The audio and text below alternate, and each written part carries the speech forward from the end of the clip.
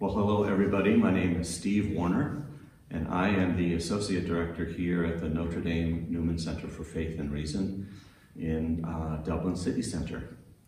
So, uh, a welcome to you from, we are actually in the Lady Chapel, this beautiful little chapel alongside the main church here in, um, in Dublin off St. Stephen's Green. And I'm the Director of Music and Liturgy here um, at the uh, Newman Center. Um, my history with this lovely nation goes way back to 1987. And back then, um, on my own, I actually came over to Ireland for a few weeks and did a long pilgrimage all around the, um, the island, visiting monasteries, different parish centers, meeting up with um, different uh, Irish church musicians.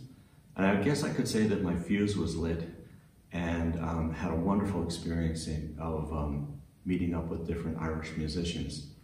The next year, in 1988, um, about 14 of us strong of the Notre Dame Folk Choir made our first trip to Ireland. We had never toured before, um, not even in the United States, so our first trip to, um, to anywhere was to the Republic of Ireland.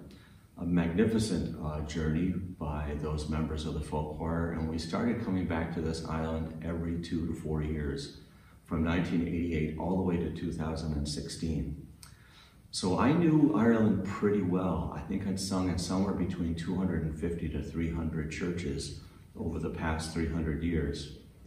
And then this little thing came up where um, Father Jenkins was approached by the Archbishop of Dublin, Diarmuid Martin, and um, made a really amazing um, gesture, an invitation to the university to come and help steward uh, this amazing church, this beautiful church.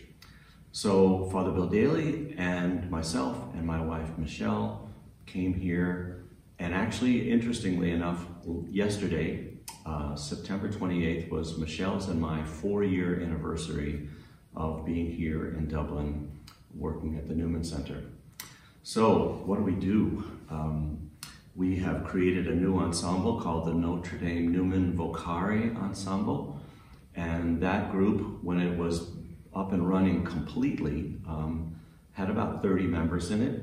We've got some lovely singers from, um, from Dublin. And we sing at both the 11 o'clock on Sunday morning and the 6.15 Sunday evening liturgy. Uh, about a year ago, we created our first recording of sacred music with GIA Publications in Chicago called Easter in Ireland.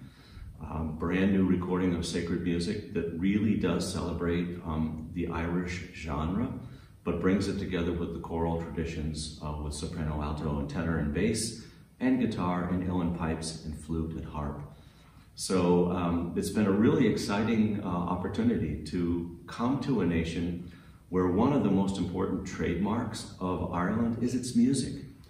And uh, to be able to work shoulder to shoulder with some really, really talented musicians has been a wonderful thing for us. Last year, um, about this time, uh, a landmark event took place, and that was the canonization of the man who built this church, uh, John Henry Newman, now Saint John Henry Newman. We all piled into an airplane, which is something you can't do right now, and we went to Rome and um, were present for the canonization liturgy, which, which was a really amazing event. And this year, on October 11th, is the one year anniversary of St. John Henry Newman's canonization. And we'll be having, even in the midst of COVID, we're going to be having a wonderful liturgy, socially distanced, but still creatively using our musical resources as best we possibly can to celebrate the canonization of this remarkable man. So um, greetings from us here in Dublin. Um, and if anybody is interested in any of the great work that's going on here, you can easily um, get access to any of that at newman.nd.edu. Have a great day.